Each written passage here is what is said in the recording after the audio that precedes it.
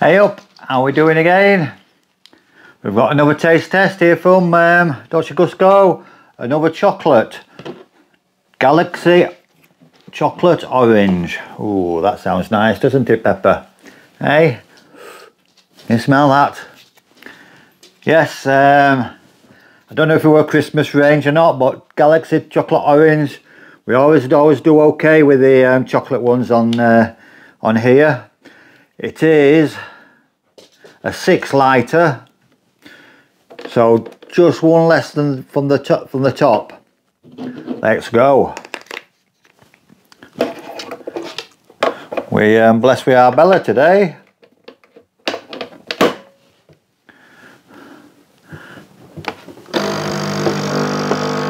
Yes, usually chocolates are quite uh, good on the on here. I'm not so impressed with the coffee. I think um, the Tassimo is a lot better for coffee. But chocolates are lovely, especially this Galaxy range.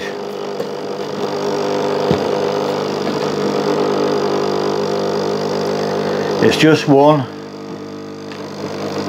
full of powder. No. Ah, Pepa here, giving it, and it, trying to take my limelight. Oh, that smells nice.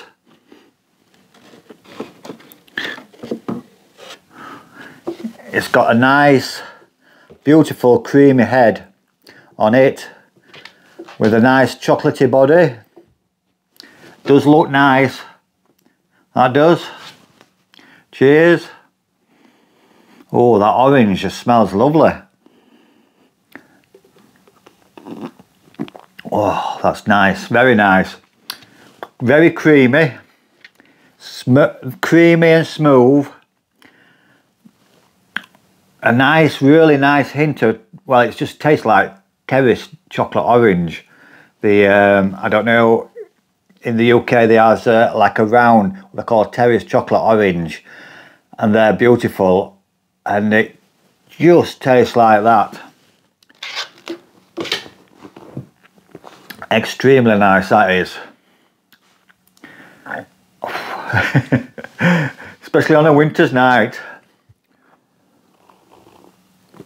I'm going to give that a 9, 9.2. It's not far off a 10. It is very moreish, smooth, chocolatey, full body. Yeah, there's nothing really bad I can really say about it. As long as you like orange and you like chocolate, you're a winner. Yes, uh, I do like that a lot. Thanks for watching. Please like and subscribe and give me a big thumbs up. And any comments in below would be nice. Thank you. Goodbye. Cheers.